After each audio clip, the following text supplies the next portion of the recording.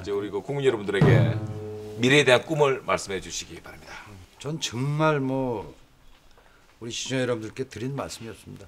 죽일 고비를 여러 번 넘겼을 때도 살려주셨고 또 어려운 환경에서 참 이 직업을 포기할까라고 생각할 때도 건져주셨고 뭐 너무너무 감사해서 드릴 말씀이 없고 제가 이제 여러분께 보답하는 길은 뭐 우선 최선을 다해서 연기하는 것일 테고 그다음에 이렇게 좋은 후배들과 또 좋은 동료들 모시고 정말 대한민국 에, 문화 발전에 요만큼이라도 보탬이 되는 일을 해보겠습니다. 여러분 먼 발치에서 지켜봐 주시고 앞으로 좀 힘을 많이 주십시오.